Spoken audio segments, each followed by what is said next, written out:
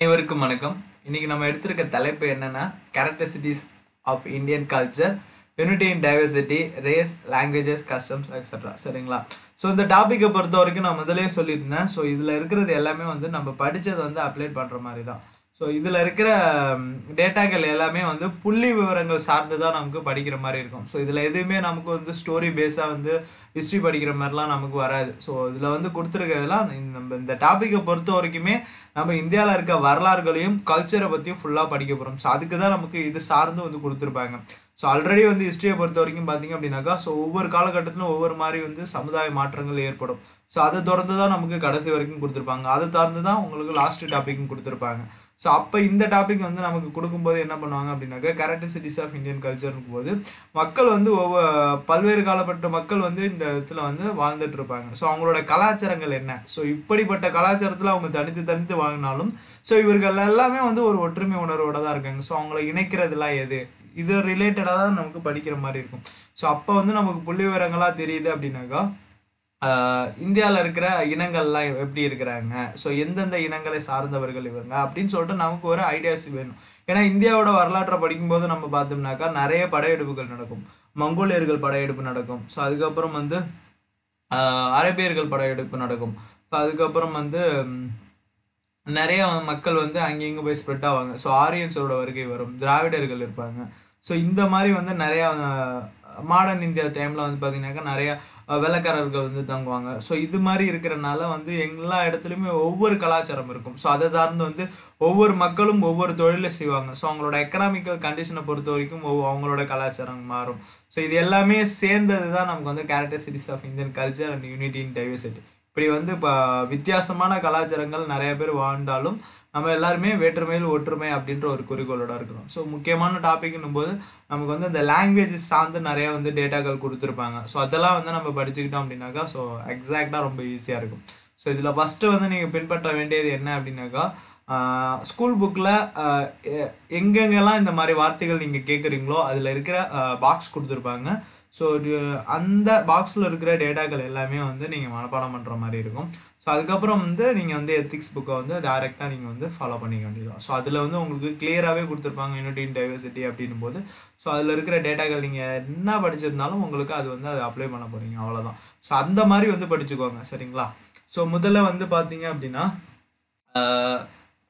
என்ன மாதிரிலாம் கேரக்டரிசிட்டிஸ் பண்ணி இந்தியன் கல்ச்சர் பிரிச்சிருக்கிறாங்க அப்படின் போது வகுக்கிறாங்க. சரிங்களா? ஸோ வகுக்கிறாங்க அப்படின்போது ஃபிசிக்கல் டைவர்சிட்டி ஸோ ஃபிசிக்கல் டைவர்சிட்டியை பொறுத்த வரைக்கும் அவங்க வாழ்கிற ஜியோகிராஃபிக்கல் ரேஞ்சஸ் தான்.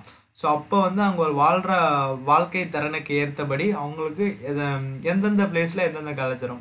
உதாரணத்துக்கு கடல் சார்ந்து வாழ்ந்து வாழ்கிறார்கள் அப்படின்றா. ஸோ கடற்கரையில் இருக்கிற மாதிரி அவங்களுக்கு தகுந்தபடி அந்த கலாச்சாரத்தை அவங்க மாற்றி தான் ஆகணும். அங்கே இருக்க குளிர்ந்த காற்று அதுக்கப்புறம் வெயில் அந்த மாதிரி இருக்கிற தகுந்தபடி அவங்களோட வீடு எல்லாமே மாறுது இல்லைங்களா? அது போல். ஸோ இமயமலை பகுதியில் வாழ்கிறாங்க அப்படின்னாக்கா ஸோ அவங்களுக்கு கண்டிப்பாக வந்து அவங்களோட வீடு முறைகள் மாறும் ஆடை முறைகள் மாறும். ஸோ இந்த மாதிரி விஷயங்கள்லாம் நிறையா இருக்கும். உணவு முறைகளும் நிறைய மாறும். ஸோ அப்புறம் வந்து பாலை நிலத்தில் வாழ்கிறாங்க அப்படின்னாக்கா ஸோ பாலைவனத்தில் இருக்கிறவங்களுடைய உணவு பழக்க வழக்கங்கள் மாறும். ஸோ அவங்களோட ஆடைகள் மாறும். அவங்களோட வீடுகள்லாம் மாறும். ஸோ அதுக்கு தகுந்தபடி தான் நமக்கு வந்து டைவர்சிட்டிஸ் நிறையா இருக்கும். ஸோ இதெல்லாம் வந்து தான் நமக்கு வந்து ஒரு கலாச்சாரத்தை உருவாக்குது. ஸோ நம்ம வந்து டைவர்சிட்டியாகவும் இருக்கிறோம் வேற்றுமையாக இருக்கிறோம் அப்படின்றது தான். ஸோ கன்னியா காஷ்மீரில் இருக்கிறாங்க அப்படின்னாக்கா ஸோ அவங்களுக்கு குளிர்ந்த காற்றோட இமயமலை தொடரில் அதுக்கு சார்ந்த உடை பழக்க வழக்கங்களும் உணவு பழக்க வழக்கங்களும் அவங்க மேற்கொள்வாங்க. ஸோ இதுவே கன்னியாகுமரியாக இருந்ததுன்னா ஸோ அங்கே வந்து கடல் சார்ந்து அவங்களுக்கு என்னென்ன தேவைப்படுதோ அந்த மாதிரி தான் இருப்பாங்க.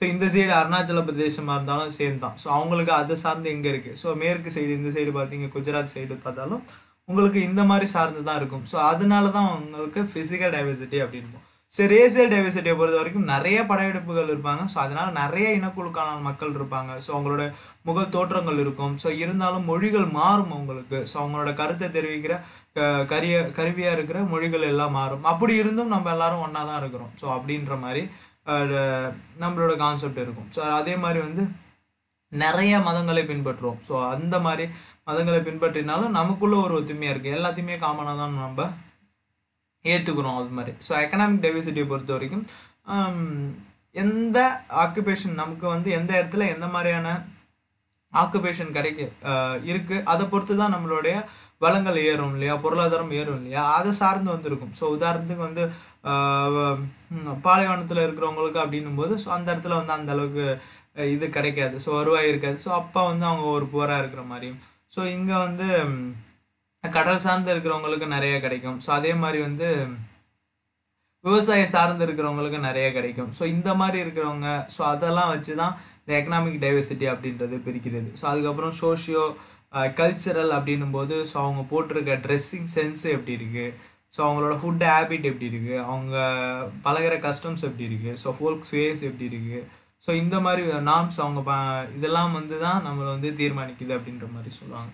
ஸோ இதை தான் வந்து ஜஸ்ட் உங்களுக்கு எக்ஸ்பிளைன் பண்ணியிருக்கேன் ஸோ நீங்கள் படிக்க வேண்டிய டேட்டாக்கள் எல்லாமே வந்து பார்த்தீங்க அப்படின்னாக்கா ஸோ எதை சார்ந்து இருக்கும் அப்படின்னா முழுக்க முழுக்க அதில் இருக்க டேட்டாக்கள் எல்லாமே வந்து உங்களுக்கு புள்ளி விவரங்கள் சார்ந்து தான் இருக்கும். ஸோ அந்த மாதிரி வந்து படிச்சுக்கிட்டீங்க அப்படின்னாக்கா ஸோ இது வந்து ரொம்ப எளிமையாக உங்களுக்கு இருக்கும். ஸோ அப்புறம் வந்து ஃபிசிக்கல் டைவர்சிட்டியை பொறுத்த வரைக்கும் இதுதான் நான் சொல்லியிருந்தேன். ஸோ தீவில் வாழ்கிறவங்க ஒரு மாதிரி இருப்பாங்க. இமயமலையில் வாழ்கிறவங்க ஒரு மாதிரி இருப்பாங்க. சமவெளி பகுதியில் வாழ்கிறவங்க ஒரு மாதிரி இருப்பாங்க. பள்ளத்தாக்கு பகுதியில் வாழ்கிறவங்க ஒரு கலாச்சாரத்தை பின்பற்றுவாங்க. ஸோ ஆத்தங்கரையில் வாழ்கிறவங்க ஒரு மாதிரி கலாச்சாரத்தை பின்பற்றுவாங்க. பாலைவனத்தில் வாழ்கிறவங்க ஒரு கலாச்சாரத்தை பண்ணுவாங்க. ஸோ இதுதான் நம்மளோட ஃபிசிக்கல் டைவர்சிட்டி அப்படின்றது. ஸோ அதுக்கப்புறம் ரிலீஜியஸ் டைவர்சிட்டியை பொறுத்த வரைக்கும் ஸோ இது புக்கில் இருக்கப்பட்ட டே டேட்டாக்கள் தான். இந்த மாதிரி டேட்டாக்கள்லாம் இருக்குது புக்கில் கொடுக்குறாங்க அப்படின்னாக்கா ஸோ தயவுசெய்து அது வந்து ஃபுல்லாகவே வந்து சும்மா ஒரு நாலஞ்சு வாட்டி எழுதி பார்த்துக்கோங்க. ஸோ நமக்கு வந்து தெரிஞ்சதே வந்து திருப்ப திருப்ப கேட்க மாட்டாங்க. ஸோ அதனால தெரியாததான் கேட்பாங்க. ஸோ உதாரணத்துக்கு லீஸ்டில் இருக்கிற மாதிரி என்ன இருக்குது ஸோ அந்த மாதிரி வந்து கேட்குற மாதிரி கேட்டாங்க. அப்படின்னாக்கா ஸோ அந்த மாதிரி எழுதுறது கற்றுக்கோங்க ஸோ இந்தியாவை பொறுத்த வரைக்கும் ரிலீஜியஸ்லாம் நிறைய மதங்களை பின்பற்றுறாங்க ஸோ அதில் வந்து மேஜராக நமக்கு கொடுத்துருக்கிறது அப்படின் போது ரெண்டாயிரத்தி பதினொன்றில் கொடுத்துருக்க மக்கள் தொகை பாப்புலேஷன் வச்சு எந்தெந்த மக்கள் வந்து எந்தெந்த மதத்தை அதிகமாக பின்பற்றுறாங்க அப்படின்ற மாதிரி கொடுத்துருக்காங்க. ஸோ அதுலேருந்து டேட்டாக்கள் தான் இது. ஸோ இந்துஸை பொறுத்த வரைக்கும் எழுபத்தொம்போது சதவீதமும் முஸ்லீம்ஸை பொறுத்த வரைக்கும் பதினாலு சதவீதமும் கிறிஸ்டியன்ஸை பொறுத்த வரைக்கும் இரண்டு சதவீதமும் சீக்கியர்களை பொறுத்த வரைக்கும் ஒரு சதவீதமும் புத்திஸ்டை பொறுத்த வரைக்கும் ஜீரோ பாயிண்ட் ஜீரோ சதவீதமும் ஆம், பொறுத்த பொறுத்த வரைக்கும் ஜீரோ பாயிண்ட் த்ரீ செவன் பர்சன்டேஜும் ஸோ இதெல்லாம் வந்து பார்த்திங்கன்னா அப்படின்னா மக்கள் வந்து ரிலீஜியஸ் மதத்தை சார்ந்து இவங்க வந்து இந்த டைவர்சிட்டிஸில் இருக்காங்க அப்படின்ற மாதிரி நமக்கு கலெக்ஷன்ஸ் அப்டேட்டாக இருக்கும். ஸோ இந்த மாதிரி வந்து தெரிஞ்சுக்கிட்டோம் நமக்கு இன்னும் கொஞ்சம் யூஸ்ஃபுல்லாக இருக்கும். ஸோ அப்புறம் வந்து நம் இன வேறுபாட்டில் பொறுத்த வரைக்கும் இண்டோ ஆரியன்ஸ் ஸோ இண்டோ ஆரியன்ஸை பொறுத்த வரைக்கும் நமக்கு வந்து புக்கில் கொடுத்துருப்பாங்க. காஷ்மீர்லேருந்து இந்த இருக்கிறவங்க ஸோ இது மாதிரி இருப்பாங்க அப்படின்ற மாதிரி. ஸோ திராவிடியர்கள் தமிழ்நாட்டில் இருப்பவர்கள். ஸோ அதுக்கப்புறம் மாரியோ திராவிடர்கள். ஸோ மங்கோலியர் மங்கோலியர் திராவிடர்கள். ஸோ அதுக்கப்புறம் வந்து துரோ துருக்கிய இரா இரானியன் அப்படின்னு சொல்லுவாங்க. ஸோ இது எல்லாமே படையெடுப்புலனால ஒவ்வொரு இடத்துல ஒவ்வொருத்தவங்க வந்து தங்கியிருப்பாங்க இல்லைங்களா? அவங்களோட இனங்கள்லாம் என்ன அப்படின்னு ஸோ உதாரணத்துக்கு தமிழ்நாடை பொறுத்த வரைக்கும் திராவிடன் அப்படின்னாக்கா ஸோ மேற்கில் இருக்க காஷ்மீர் இந்த சைடில் பார்த்தீங்கன்னாக்கா இண்டோ ஆரியன். ஸோ அதுக்கப்புறம் இந்த ஆரியோ திராவிடன் அப்படின்னு போது நடுத்தகுந்தபடி ஸோ மங்கோலியா அப்படின்னும் போது ஸோ அதுக்கு இருக்கிற எல்லை பகுதிகளில் இருக்கிறவங்க. ஸோ உதாரணத்துக்கு நேபாளில் இருக்கிறவங்க ஒரு மாதிரி தோற்றங்களில் இருப்பாங்க. ஸோ அதே மாதிரி தான் அதை அதை சார்ந்து தான் வந்து நமக்கு வந்து கொடுத்துருப்பாங்க. ஸோ நே நேபாள சார்ந்து இருக்கிறாங்கன்னா ஸோ அதுக்கு கீழே இருக்கிறவங்க ஸோ மணிப்பூரை சார்ந்து இருக்கிறவங்க ஸோ இந்த மாதிரி இருக்கிறவங்க எல்லாருமே வந்து ஒவ்வொரு முகத்தோற்றங்கள்லாம் அவங்களுக்கு இருக்குது இல்லைங்களா? ஸோ அவங்களோட வாழ் கலாச்சாரங்கள் அந்த மாதிரிலாம் இருக்குது ஸோ அதை சார்ந்தும் ஒரு சில பேர் தனியாக இருக்கிறாங்க அப்படின்ற மாதிரி நமக்கு டைவர்சிட்டி கொடுத்துருக்காங்க. ஸோ அதுக்கப்புறம் வந்து லிங்கஸ்டிக் டைவர்சிட்டி பொறுத்த வரைக்கும் இந்தியாவில் வந்து இருபத்தி ரெண்டு சதவீதம் இருபத்தி ரெண்டு லாங்குவேஜ் தான் நமக்கு வந்து ஏற்றுக்கொள்ளப்படியுமான லாங்குவேஜஸ் இருக்குது ஸோ ஒரு காலத்தில் வந்து ஆயிரத்தி அறநூறு மொழிகள் இருந்தது. ஸோ அது வந்து இப்போ கொஞ்சம் கொஞ்சமாக வந்து கம்மியாகிட்டு இருக்கும் இந்த மாதிரி டேட்டா டேட்டா டேட்டாக்கள்லாம் நிறையா கொடுத்துருப்பாங்க. ஸோ அதெல்லாம் வந்து நம்ம தெரிஞ்சு வச்சுட்டு எக்ஸாக்டாக எப்போ வந்து எந்த வருஷத்தில் எந்த மாதிரி கொடுத்துருந்தாங்களோ அந்த மாதிரி தெரிஞ்சுக்கிட்டீங்க அப்படின்னாக்கா ரொம்ப யூஸ்ஃபுல்லாக இருக்கும். ஸோ இங்கே வந்து இந்த உங்களுக்கு எக்ஸ்பிளைன் பண்ணுறதுக்காக தான் இந்த பிக்சர் வந்து கொடுத்துருங்க சரிங்களா? ஸோ நமக்கு வந்து புக்லேயே வந்து தனியாக டேட்டா கொடுத்துருப்பாங்க. ஸோ அதையுமே போட்டிருக்கேன். ஸோ இருபத்தி ரெண்டு அஃபிஷியல் லாங்குவேஜஸ் அப்படின்னும் போது கடைசியாக வந்த லாங்குவேஜஸ் எது? ஸோ கடைசியாக ரெண்டு ஆட் பண்ணது எது? ஸோ அந்த மாதிரி வந்து நீங்கள் தேடி படிச்சுக்கிட்டீங்க அப்படின்னாக்கா ரொம்ப யூஸ்ஃபுல்லாக இருக்கும். ஸோ அதுவே பாலிட்டிலே நீங்கள் படிப்பீங்க. அஃபிஷியல் லாங்குவேஜஸ்லேயே ஸோ அது மாதிரி அந்த ரிலேட்டடாக படிச்சிட்டிங்க அப்படின்னாக்கா நமக்கு கொஞ்சம் யூஸ்ஃபுல்லாக இருக்கும். ஸோ இந்தியாவில் இருக்கிற இருபத்தி ரெண்டு மொழிகள் என்னென்ன அப்படின்னு சொல்லிட்டு ஸோ புக்கில் இருக்கிற டேட்டாக்களே வந்து இங்கே அப்படியே பேஸ் பண்ணி வச்சுருக்கிறேன். ஸோ அதுலேயே வந்து பார்த்தீங்க அப்படின்னாக்கா தமிழ்லே தான் இருந்தது. ஸோ தமிழ் டேட்டாவே எடுத்து அப்படியே பேஸ் பண்ணிட்டோம் சரிங்களா? ஸோ அசாமி பெங்காலி ஸோ போடோ டோக்ரி குஜராத்தி ஹிந்தி கன்னடம் காஷ்மீர் கொங்கணி மாதிரி மலையாளம் மணிப்பூரி மராத்தி நேபாளி. ஸோ இந்த மாதிரி இருக்கிற எத்தனை மொழிகளும் வந்து என்னென்ன இருக்குது ஸோ இதில் வந்து எந்த மொழி வந்து கிளாசிக்கல் லாங்குவேஜ் செம்மொழியாக இருந்தது? ஸோ எந்தெந்த வருஷத்தில் பெற்றாங்க? ஸோ முதல் முதலாக செம்மொழியாக ஆக்கப்பட்டது அப்படின்னாக்கா ஸோ தமிழ் தான். ஸோ தமிழ் வந்து எந்த வருஷத்தில் கொடுத்தாங்க? இந்த மாதிரி டேட்டாக்கள்லாம் நீங்கள் தேடி படிச்சுக்கிட்டீங்க அப்படின்னாக்கா ரொம்ப யூஸ்ஃபுல்லாக இருக்கும். ஸோ அப்புறம் வந்து நான் சொல்லியிருந்தேன் இல்லைங்களா? எந்தெந்த லாங்குவேஜ்லாம் இருந்தது போக போக குறையும்னு சொல்லிட்டு அந்த மாதிரி நமக்கு ஒரு டேட்டாக்கள் கொடுத்துருக்காங்க. ஸோ அதையுமே ஒன்ஸ் ரீட் பண்ணுறோம் அதில் இருக்க டீட்டெயில்ஸை தெரிஞ்சுக்குவோம் நம் நாட்டில் ரெண்டாயிரத்தி பதினோராம் ஆண்டில் மக்கள் தொகை கணக்கெடுப்பின்படி மொத்த மக்கள் தொகை நூற்றி இருபத்தொரு கோடிக்கு மேல் உள்ளது. இவர்களில் எழுநூற்றி எண்பதுக்கும் மேற்பட்ட மொழிகளை பேசி வருகிறார்கள். So people linguistic survey of India அப்படின்னு சொல்லிட்டு தெரிவிக்கிறது என்னென்னாக்கா ரெண்டாயிரத்தி பத்துக்கும் ரெண்டாயிரத்தி பதிமூணுக்கும் இடையில எடுக்கப்பட்ட கருத்தின்படி எழுநூறு தான் சரிங்களா? எழுநூறுலேருந்து எழுநூற்றி எண்பது மொழிகள் தான் பேசி வருகிறார்கள். ஸோ இது போக போக பார்த்தீங்க அப்படின்னாக்கா டெஃபினட்டாக குறையும். அந்த மாதிரி தான் இருக்குது அப்படின்ற மாதிரி தான் டேட்டாக்கள் சொல்லியிருப்பாங்க. ஸோ ஆயிரத்தி தொள்ளாயிரத்தி அறுபத்தி ஒன்றாம் ஆண்டில் தோராயமாக ஆயிரத்தி அறுநூத்தம்பது மொழிகள் இருந்ததாகவும் ஒவ்வொரு ஆண்டிற்கும் பத்திற்கும் மேற்பட்ட மொழிகள் அழிந்து வருவதாகவும் இந்நிலை தொடர்ந்தால் இன்னும் நூறு ஆண்டுகளுக்கு பிறகு இந்த எண்ணிக்கை ஐநூறுக்கும் குறைவாக தான் இருக்கும் அப்படின்னு சொல்லிட்டு சொல்லிக்கிறார்கள். ஸோ இந்த மாதிரி டேட்டாக்கள்லாம் கொடுத்துருக்காங்க. ஸோ அதில் இருக்கிற டேட்டாவில் என்ன பாயிண்ட் நமக்கு தேவையோ அதை மட்டும் படிச்சுக்கிட்டா நமக்கு முக்கியம். ஏன்னா சிலபஸில் இருக்க ஒவ்வொரு டாப்பிக்கும் நமக்கு முக்கியம் இல்லைங்களா? ஸோ நமக்கு வந்து லிங்கஸ்டிக் அப்படின்னு சொல்லிட்டு கொடுக்கும்போதே ஸோ மொழியை பற்றி நம்ம எப்படி கேட்டாலும் நம்ம எழுதுகிற மாதிரி தான். ஸோ அதுவும் இல்லாமல் பாலிட்டிலேயே நமக்கு கொடுத்துருப்பாங்க. ஸோ அதனால் பாலிட்டி ரிலேட்டடாக படிக்கும்போது நமக்கு கொஞ்சம் யூஸ்ஃபுல்லாக இருக்கும். ஸோ எக்ஸ்ட்ரா டேட்டாக்கள் அப்படின்னும் போது இதில் இருக்கிற டேட்டாக்களை தவிர்த்து ஸோ கடைசியாக சேர்த்தது என்னென்ன? ஸோ அதே மாதிரி எந்தெந்த லாங்குவேஜ் எந்தெந்த மாதிரி செம்மொழி எந்த வருஷம் ஆச்சு? அந்த மாதிரி படிச்சுக்கிட்டீங்க அப்படின்னாக்கா ரொம்ப யூஸ்ஃபுல்லாக இருக்கும். ஸோ அதுக்கப்புறம் வந்து நமக்கு கொடுத்துருக்க டேட்டாக்களில் ரிலீஜியஸ் பேஸில் நம்ம வேற என்னென்னலாம் தெரிஞ்சுக்கலாம் அப்படின்னும் போது ஃபெஸ்டிவல்ஸ் கொண்டாடுவோம் இல்லைங்களா? ஸோ அந்த மாதிரி வந்து நம்ம நிறையா வந்து எந்தெந்த ஊரில் எந்த மாதிரி ஃபெஸ்டிவல்ஸ் கொண்டாடுறாங்க அப்படின்ற மாதிரி இன்னும் கொஞ்சம் தெரிஞ்சுக்கிட்டோம் அப்படின்னா நமக்கு இன்னும் கொஞ்சம் யூஸ்ஃபுல்லாக இருக்கும். ஸோ இது எல்லாமே சேர்ந்தது தான் நமக்கு வந்து டைவர்சிட்டி சு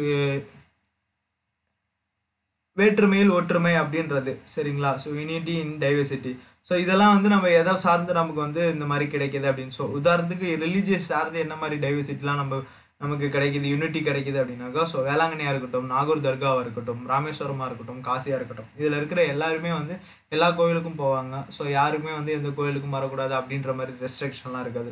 ஸோ இதை சார்ந்து வந்து நிறைய நம்ம எல்லாருமே ஒன்றாவே இருக்கும். ஸோ வேளாங்கண்ணியை பொறுத்த வரைக்கும் எல்லாருமே போவாங்க. நாகூர் தர்காவை பொறுத்த வரைக்கும் எல்லாருமே போகலாம். ஸோ அலோடு அந்த மாதிரி தான். ஸோ லிட்ரேச்சர் பேஸ் பண்ணி பார்க்கும் போதும் ராமாயணம் சொல்கிற கருத்துக்களாக இருக்கட்டும் மகாபாரதம் சொல்கிற கருத்தாக இருக்கட்டும் பைபிள் சொல்கிற கருத்தாக இருக்கட்டும் திருக்குறள் சொல்கிற கருத்தாக இருக்கட்டும் இருக்கிற எல்லா கருத்தையுமே எல்லா மொழியிலையும் வந்து நமக்கு டிரான்ஸ்லேட் பண்ணி தான் வச்சுருக்கிறாங்க. ஸோ அந்த டிரான்ஸ்லேட் பண்ண டேட்டாக்கள் நம்ம எல்லாருக்குமே தெரிஞ்சுக்கிறதுக்கு தான் வச்சுருக்காங்க. ஸோ அதை சார்ந்தும் நம்ம வந்து யூனிட்டியாக தான் இருக்கிறோம் அப்படின்ற மாதிரி. ஸோ அதுக்கப்புறம் வந்து ஹார்ட் அண்ட் ஆர்டிகல்ச்சராக இருக்கட்டும். ஸோ தாஜ்மஹாலுக்கு எல்லாருமே போவாங்க. ஸோ அதே மாதிரி வந்து தஞ்சாவூர் பிரகதீஸ்வரர் கோவிலாக இருக்கட்டும் எல்லாருமே போவாங்க. ஸோ அதே மாதிரி வந்து இருக்கிற எந்த மாதிரியான கலைக்கூடமாக இருக்கட்டும் ஸோ அழு இருக்கிற இந்த மாதிரி விஷயங்கள்லாம் பேணி பார்க்குறது ஸோ இதெல்லாம் வந்து பார்த்திங்க அப்படின்னா மக்கள் வந்து எல்லாத்தையுமே சேர்ந்து தான் பின்பற்றுவாங்க. ஸோ இந்த மாதிரி வந்து சேர்ந்து நம்ம வந்து படிச்சுக்கலாம். ஸோ அதுக்கப்புறம் வந்து இந்த ஃபெஸ்டிவல் சொன்னோம் இல்லைங்களா ஸோ அதை சார்ந்தே வந்து நமக்கு நிறைய கொடுத்துருப்பாங்க. ஸோ பொங்கல் கொண்டாடுறது வந்து பார்த்திங்க அப்படின்னா ஸோ நமக்கு வந்து பொங்கல் அப்படின்னு சொல்லுவோம். ஸோ மகாராஷ்டிரா கர்நாடகா குஜராத் இந்த சைடு பார்த்தீங்கன்னாக்கா மகாரா சங்கராந்தி அப்படின்னு சொல்லுவாங்க. மகாரா சங்கராந்தி அப்படின்னு சொல்லுவாங்க. So Kerala side Onam. So அதுக்கப்புறம் வந்து மத்திய பிரதேஷ் சைடு லோகரி. ஸோ பஞ்சாப் சைடு வந்து வைசாகி அப்படின்னு சொல்லுவாங்க. ஸோ இந்த மாதிரி டேட்டாக்கள்லாம் எங்கெங்கே இருக்குது அப்படின்ற மாதிரி சேர்ந்து படிச்சுக்கோங்க. இன்னும் கொஞ்சம் யூஸ்ஃபுல்லாக இருக்கும். ஸோ இதெல்லாம் தவிர்த்து எந்த மாதிரிலாம் கொஸ்டின் கேட்பாங்க அப்படின்னாக்கா இந்தியாவை பல இனங்களின் அருங்காட்சியகம் என்று கூறியவர் யார் அப்படின்னு சொல்லிட்டு ஆப்ஷனில் கொடுப்பாங்க. ஸோ இதெல்லாம் வந்து Uh, ரிப்பீட்டட் கொஷின் தான். நிறைய மாடர்ன் கொஷின் பேப்பர் திருப்பி பார்த்தீங்கன்னாவே இந்த மாதிரி கொஷின் கிடைக்கும். ஸோ விஎஸ் முத்து சொல்லியிருப்பாரு. ஸோ இந்த மாதிரி டேட்டாக்கள்லாம் வந்து தேடி படிச்சிங்க அப்படின்னாக்கா நமக்கு கொஞ்சம் யூஸ்ஃபுல்லாக இருக்கும். ஸோ அதே மாதிரி the wonder that was India எண்ணற்ற அதிசயங்கள் கொண்ட இந்தியா எந்த என்று அழைக்க அழைத்தவர் யார்? எந்த வரலாற்று ஆய்வாளர் அப்படின்னு கேட்டாங்கன்னா ஸோ ஏஎல் பேஷிம் அப்படின்ற மாதிரி. ஸோ அப்புறம் வந்து